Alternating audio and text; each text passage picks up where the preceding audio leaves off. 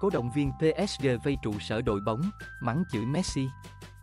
Mối quan hệ giữa PSG và Lionel Messi ngày càng xấu đi. Hàng nghìn người hâm mộ tập trung trước trụ sở đội bóng, liên tục hô vang thông điệp phản đối siêu sao người Argentina.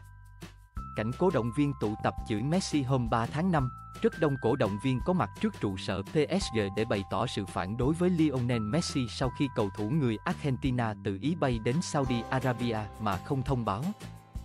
Khuya 3 phần 5, giờ Hà Nội, đám đông cổ động viên PSG được nhìn thấy tập trung trước đại bản doanh đội bóng, đốt pháo sáng và dùng lời lẽ khó nghe hướng về phía Leo, Messi, gã khốn khiếp. Lê Quyết, RMC hay Marca đều xác nhận thông tin này. Động thái trên xuất hiện chỉ ít giờ sau khi Messi được cho là đã đưa ra quyết định chia tay sân phát đề viên.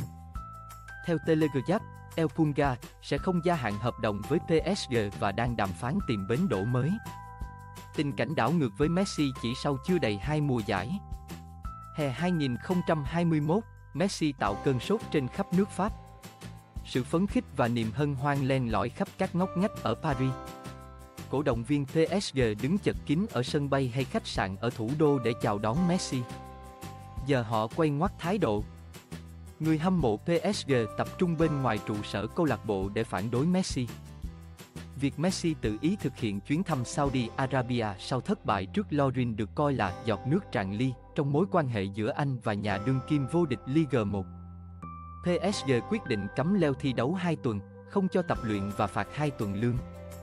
Tâm trí của Messi cũng không còn thuộc về PSG.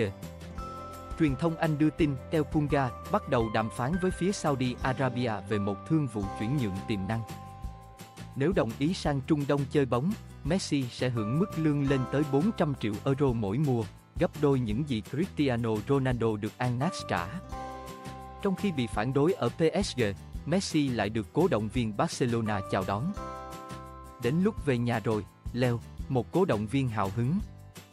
Một người khác còn kêu gọi PSG cấm thi đấu Messi vĩnh viễn, án phạt có hiệu lực ngay từ bây giờ để anh ấy có thể trở về mái nhà thật sự.